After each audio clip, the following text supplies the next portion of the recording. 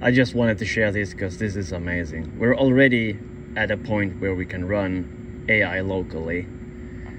It, and it's a half decent one too. This is, has been trained on GPT 3.5 and it's completely open source. You can just go install it right away. This has been done before, but not this easy. I will leave a link to this GitHub in my description, well, the description. Super easy to install and run. So once installed, just run this command and you'll see it's gonna load up. Done. So, um,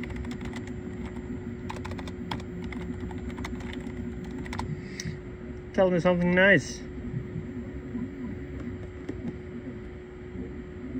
oh, okay.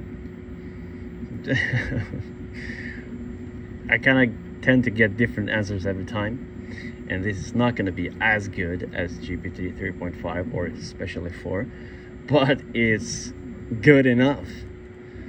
Write me some uh, well a VB script that counts down from 10 and then says hello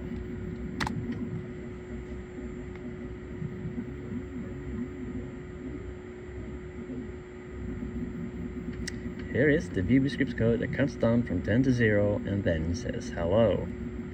Smiley face. This is so insane. And this is running locally. It doesn't phone home, well, to my knowledge, and it doesn't need any outside resources. And as you can tell, uh, I'm running a Ryzen 9 3900 12 core processor. It's at 50% right now, and half the memory is used, well, until it's finished anyway. Look at this, it's amazing. Oh, this is so awesome. And this opens up a whole new can of worms. Because then you could do things like this. Use Windows Power Automate, activate it, you know, trigger it however you want to. Like it, it finds something, it reads something, whatever, opens a command session, starts up the AI, waits a while, and then just asks whatever you want it to, to ask. It could reference your own shit on your own system. And read that, split it up, and display it. Super simple!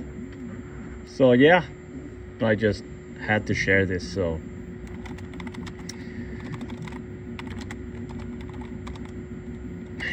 That's not how you speak goodbye. Say goodbye. Goodbye to what? To whom are you saying farewell? To you. You metal. Anyway, Friday. Happy weekend, guys. See ya.